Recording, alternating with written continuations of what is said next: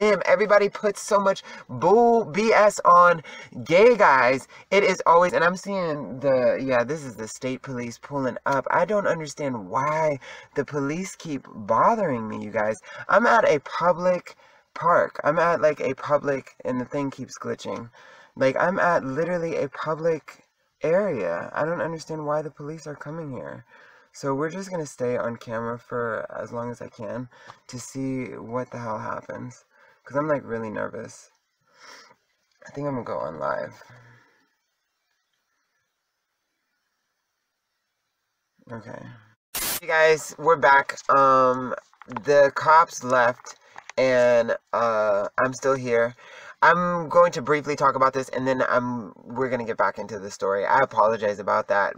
And I intentionally left the clip of when the police arrived on purpose just to keep it on record you know i'm i'm not going to come up here a couple of months later and be like i just keep getting harassed by the police and y'all don't see what i'm talking about like no y'all are going to see it i'm going to keep i'm going to keep I'm gonna keep posting it because this is really crazy. This is really crazy. At the time when the cop came, I was actually getting turned up talking about how it's funny how the the perception is like gay people, you know, initiated or gay people flirt with straight guys or gay people want to turn out straight guys. And while it may be like a fetish for sure, it's not eh, acted upon most of the times. You do have your, you know, bold individuals that, you know, do the most. Of course, you always will have that. But majority of the times because gay people are nervous about homophobia or being attacked or making somebody uncomfortable most of the time gay people stay in their lane. So then it's the straight guys that actually approach them. And sometimes it can actually come as like harassment just like you know women get harassed. You have gay people like that they get harassed because then it's like the straight guy they'll come even harder onto you know the woman or to onto the gay guy. But this wasn't with homie in jail because that's what we were talking about. We were talking about homie in jail. And with him it wasn't anything like that. It definitely was uh, welcomed because, as far as I knew, he wasn't involved with anybody. I do remember that he had someone on the outside that he was in contact with, but from my understanding, and not just because of him, just from like you know conversation, like like from talk. Uh, and I think from him too. It wasn't, and I hope to God that it was real, because I would actually feel, you know, terrible if it wasn't like if he was lying, because you do have that. Oh my gosh, you definitely have that. But uh, from my understanding, he just had somebody that looked out for him, you know, just out of respect to the connection that they had. But he was just in jail doing his thing, and he was uh, straight. He was straight period. There was no rumors about nothing nothing.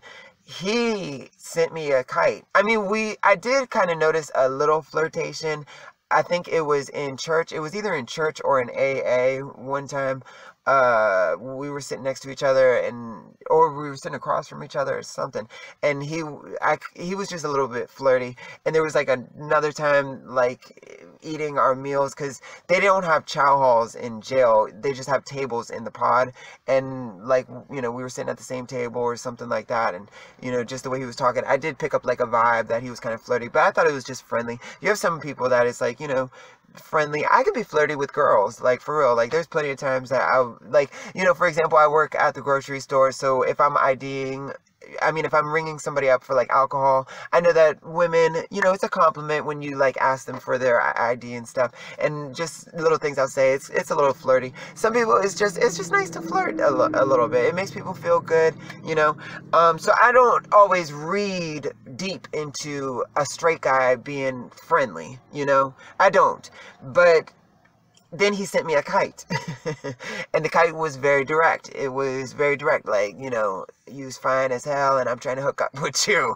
You know what i'm saying? Like are you talking to anybody? Because i would love to talk to you and stuff like that. And i wrote him back because i thought he was good looking i thought he was free. And as far as i know and as far as i believe i do hope that that was the truth that he was you know single but um so i i wrote him back and we were in the same pod, but then I got moved around, and then again somehow we got we ended up in the same pod again because I kind of had like trouble moving around. Pretty much the whole time I was locked up, I was constantly moving around just because one reason or another. But we ended up in the same pod again. And we had already, you know, been writing each other, so we already knew what time it was. And just trying to find a, a uh, moment, I guess, where I would be able to go in his cell or he could come up in my cell or something like that. But we definitely were trying to be like sneaky. And he was on the top tier, so he had thought that it would be easier for me to go into his cell. Like during pod leisure, at a moment where people aren't really paying attention, I could just sort of pretend like I'm bringing him something, like some commissary. And actually, I do remember, I think I had brought like a coffee bag with me, like I was giving him a coffee bag. And I went upstairs carrying my coffee, and I went to the door. And in jail, you weren't actually allowed to go into people's cells, but people would creep up there, creep into each other's cells sometimes. And I was standing by the doorway talking to him, and then I kind of just like slid in there. Somebody, that's what people were saying. People were like, oh, somebody must have been hating on y'all or something because they feel like somebody must have went and told the CO. Because I, I do know that when I went in, I intentionally went at a time that the COs they weren't looking. Like there this pod was like a bigger pod and there would be two COs that stayed in the pod at like a little station near the, the near the door, just sort of surveying the, the, the pod. And it was at a moment where the COs weren't weren't paying attention talking with other inmates or whatever. One CO was over, you know, some place I was talking to inmates or something. And I went in that's why they say that somebody must have like snitched on us, like told, told. But we barely got anything started for real. Uh, which I just realized I'm on YouTube and not on Patreon, so I won't go into the details. But we barely had like got anything going for real. Uh, not anything really at all going. But the CO came and basically just like knocked and then went in and you know we start pulling up our pants and he was just like really y'all really but needless to say i was moved out of the pod of course like immediately they had I don't think I, they didn't lock me up. They they just had me pack my bags, and I was near the front while they were figuring out where they were gonna move me. I might have went back to phase one. Phase one at this jail was like a, a classification pod. If you just got locked up, and you were being taken out from the front, like in booking, they would put you in this pod, which was called phase one, while they're classifying you, and also you're learning like the the rules of the jail because they had uh, like inspection, cell inspection and stuff. So they had a training manual, um, a handbook or whatever that you needed to know. You needed to know how to like fold your bed. It was it was kind of military style a little bit, but uh, it also so if you're just coming to the jail, they would put you in phase one while they classify you. Or if something like this happened where you needed to be moved, they would move they would put you in phase one while they reclassify you. And I think I was moved to phase one for like the night or something, maybe the weekend, and then I was moved to another pod. So that's what happened.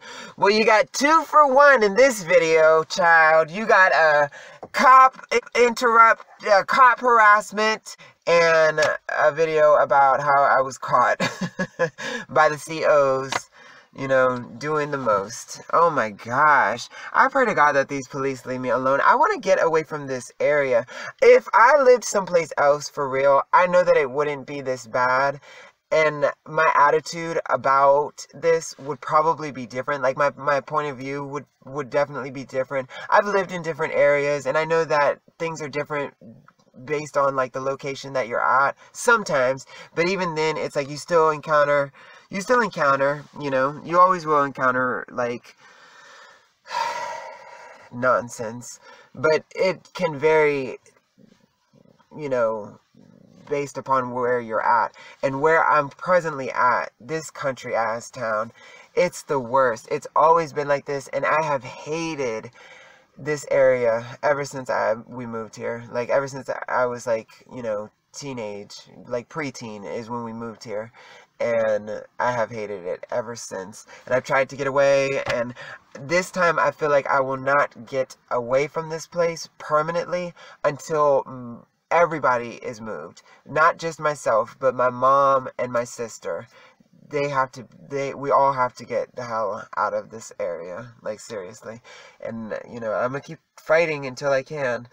But in the meantime, I guess I just have to be strong enough to handle this kind of stupidness. So, I hope you guys are having a wonderful day, and I'm sorry about this video. I really, I wanted it to be more fun and lighthearted. Uh, you know, I feel like there's been so much, so much tense type of content lately that I've posted, and I want to get back to a more lighthearted vibe, you know, but I mean, it's difficult when you have stuff like that happening. It's like, damn, you know, I'm doing my best, but thank you for being here. Thank you so much. And I love you. And, you know, don't forget to subscribe. Have a great day. Bye.